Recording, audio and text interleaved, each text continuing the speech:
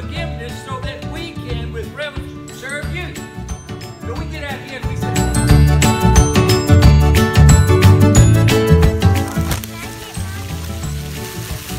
I'll get you one.